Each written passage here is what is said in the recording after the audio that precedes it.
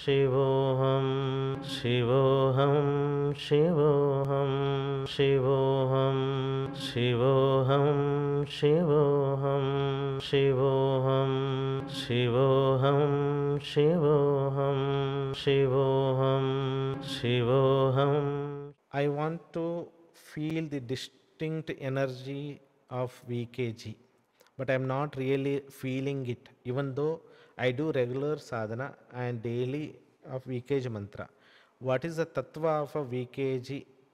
I feel the power of this form of Divine Mother in a rapid spiritualizing of every part of my life, but I can't yet sense the unique energy field of this form as yet. Thank you.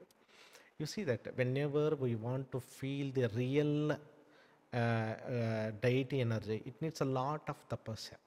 Okay, whatever you are doing is good, but uh, still you may need a lot of tapasya to manifest that deity in your subtle body. Then only know what it is.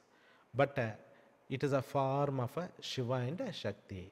It is a Lalitambika plus a Lord Ganesha. Lord Ganesha is the form of a Shiva here. Divine Mother is a Shakti. It is a oneness of Shiva Shakti.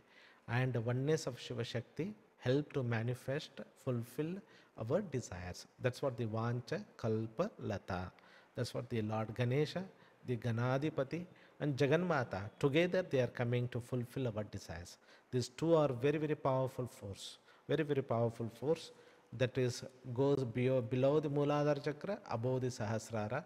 They are helping us to manifest between Mooladhara to Sahasrara also. So this is very, very highly, you know, powerful form of Jaganmata and you know Lord Ganesha, and they will help in every aspect of your life.